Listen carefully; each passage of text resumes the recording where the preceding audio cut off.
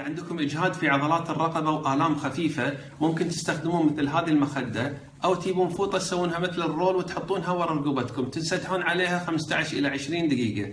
بعدها تحسون بالراحة ترجع لكم الابتسامة.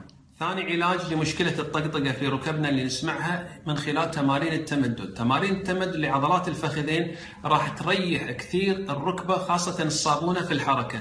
مثل الفيديوهات اللي أمامكم راح تكون جدا نافعة. أول علاج لمشكلة الطقطقة والأصوات في ركبنا تمارين التقوية. تمارين التقوية للفخذين راح تشد لي العضلات وتشد لي الأربطة والأوتار ونتخلص من الأصوات. هذا أول علاج. الناس اللي عندها دوالي في الساقين وينتج عنها تورمات في القدم والساق خلينا نحط في بالنا أن هذه التورمات نتيجة زيادة السوائل في هذه الأماكن، إذا سوينا التمارين اللي موجودة أمامكم راح تقل عندنا هذه التورمات.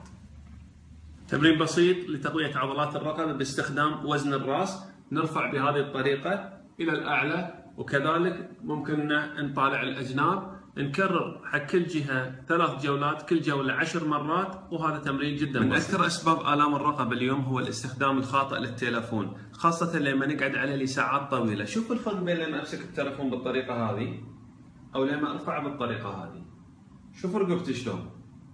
الفرق وايد. تمارين التمدد مهمة جدا لكل عضلة راح تشتغل عليها تشيل فيها حديد أو أنك أنت راح تعمل فيها مجهود عالي تخليها على كل وضع لمدة 20 إلى 30 ثانية وتكررها من ثلاث إلى خمس مرات. مهم جدا وإلا راح تعرضها للإصابات. شوفوا مسكة السكان الخطأ كيف ممكن تسبب لنا آلام؟